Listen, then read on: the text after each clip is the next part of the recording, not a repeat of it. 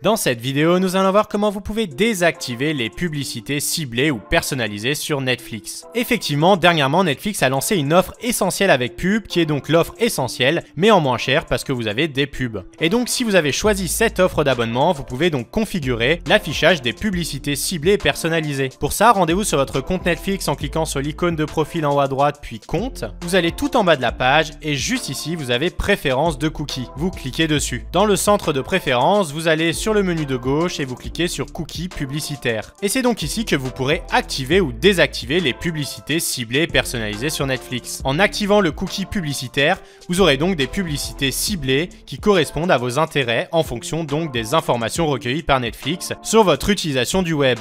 Et si vous le désactivez, eh bien ces publicités ciblées seront donc désactivées. Maintenant, si vous souhaitez savoir comment masquer un film de votre historique sur Netflix, je vous renvoie la vidéo en description. Voilà, n'hésitez pas à nous donner vos meilleures idées en commentaire, à vous abonner à la chaîne, à commenter, à liker la vidéo, et on se retrouve pour plus d'astuces et de tutos en une minute.